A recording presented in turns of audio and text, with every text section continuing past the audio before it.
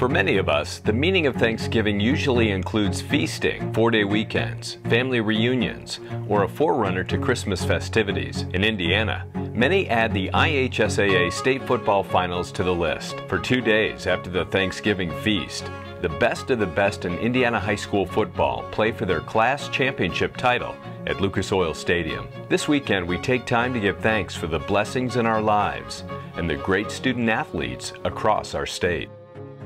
Come on now. There it is. Still going to the 49 yard line. There's 10 yards for Charlie Spegal. And Charlie Spegal has just become the state's all time leading rusher. He has 13 yards on the night. And Charlie Spegal now with 8,112 yards is the state's career rushing leader. As a kid, Charlie was pretty much about the way he is now. He was headstrong, determined. There was nothing, I mean, if there was a small obstacle in his way, no matter what, he was getting through it. When Charlie was little, when he first started uh, Metro football, um, he actually practiced uh, with his older brother, was fifth and sixth graders, and he started practicing with them. And he always did pretty good, you know, he's second grader holding his own with fifth and sixth graders, so he did that real well. Charlie was in there and he was hitting and he was running. And these kids were, you know, older than him, obviously. Course, you know, being a mom, I'm like, oh, you're gonna get him hurt. Well, no, it was kind of the other way around. He was, you know, he, he was kind of in there hurting some of the older kids. And I was like, well, okay, maybe maybe he is pretty good at this stuff. I think what's special about Charlie is he gets the most out of himself. I mean, he's obviously been given some great gifts, you know, and, and sometimes you're born with those things, but he really does a tremendous job in practice of taking the coaching, the attention to detail, the improvement that goes on, not just weekly, but daily. He takes those things really seriously. And I think if you're going to be a great player, you know, talent is wonderful and, and you've got to have that, obviously, but doing the little things right. And again, I think he's as good as you're going to find at that of not being satisfied with just, you know, here I am, I'm a good player. It's, uh, it's what can I do? What can I learn to make myself even better? Well, before the play, I read the defense and see what kind of formation they're in. And then once I get the ball, I'm looking north and south for the most part.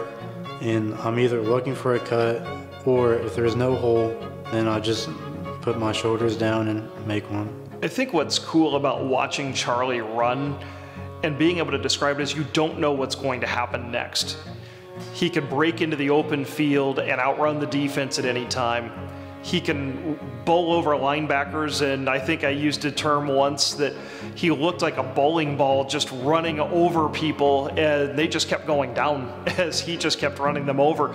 And so, having to be on your toes as an announcer, not knowing what's going to happen next because he's so fast, he's so powerful and he gets better as the game goes on. So in the third and fourth quarter, when the game's on the line, that's really when Charlie shines. And so you have to know to be descriptive, but also really try to be in the moment. And it's a lot of fun. When I hand off the ball to Charlie, it's like, no matter what I see, like he, he's gonna get something out of nothing. Like there could be a hole, there could not be a hole, and he's gonna get us yards. And um, no matter where we are out in the field, either you know first and ten, first and goal, he's he's gonna get us the yards that we need. Well, I'll tell you a specific run. It was the state championship last year, and we had called a timeout, and we were in the huddle, and coach was like, you know, just get it to the middle of the field so we can take a field goal. Just when you get hit by somebody, just go down. So we start that play, and I'm blocking, and I so I turn around and look back, you know, to see like, you know, where did he go down, I, and I see Charlie just throw three dudes off of him, and I'm like, oh my god, he's gonna go for a touchdown, and then runs over another dude and I'm like, well, hopefully he breaks my guy because I stopped blocking. And he just runs him over too and scores and I was just like, yep, that's the only person in the country who could have done that. So it's awesome to watch Charlie. And Charlie will tell you too, it's not just him, it's it's the play calling, it's the offensive line, but a large part of it is him. I mean, he deserves credit for, you know, being able to turn those, like I said, he goes from six, eight yards maybe in the first half to going 50, 60 yards in the second half. And you know, sometimes against weaker opponents, he's doing that in the first half too. But I think it's a, it's a battle of attrition. New Pal always feels like we're going to be the best team in the fourth quarter, and Charlie's a big reason for that because it, it's tiring to tackle him time and time again, and, he's shown that that that you might tackle him in the first three quarters, but it's going to be hard to do that the entire game. When he broke the record, it was kind of just like a surreal moment. Like, wow, that that's a big part of history that he just broke, and um, but you would have never known if you asked him. You know, he's he's just like he's a team player. You would never know if you talk to him. He's not going to bring that up, and um, it was just a crazy moment. You know, as a mother, there's you know I could not be any more proud of him and what he's accomplished. Then once it happened, of course, you know I was very proud of him. Um, and then they stopped the game, and and if you know Charlie, he's not one for you know making a fuss over him. So I knew he was kind of okay, you know, this is great, but I want to get back to the football game.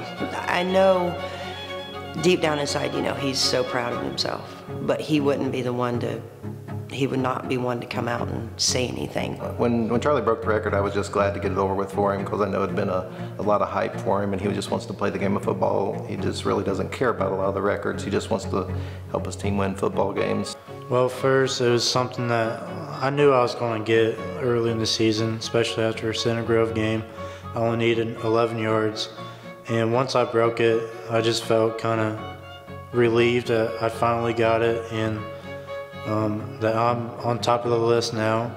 And that for Sammy to come out and get me the game, like a get ball, and show that kind of sportsmanship, that made me like really happy that he came out and shook my hand and took pictures with me.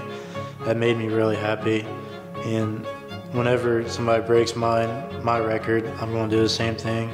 So when I broke the record, um, I knew kind of going into that week, it was they had it all hyped up, and um, I, I, knew Otis Shannon's name was on the board, but never knew who he was or seen him. And when he made the special trip to the game, and I broke it, and saw him for the first time and congratulate me on breaking his record. And I remember him telling me um, that when someone eventually breaks your record, because records are meant to be broken, um, I just would like you to be there and present the ball like I did.